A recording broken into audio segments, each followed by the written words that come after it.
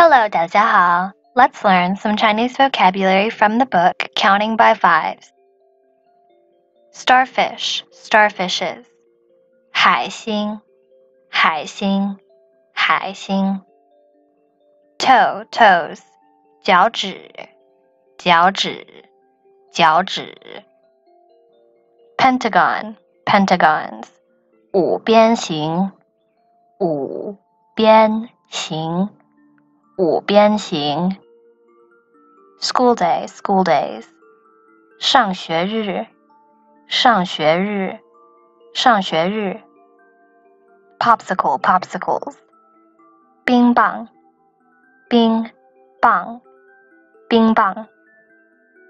Candle, candles.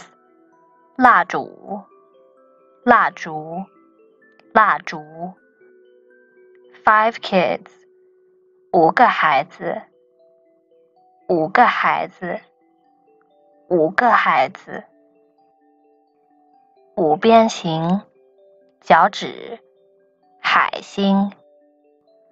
五个孩子，蜡烛，冰棒，上学日。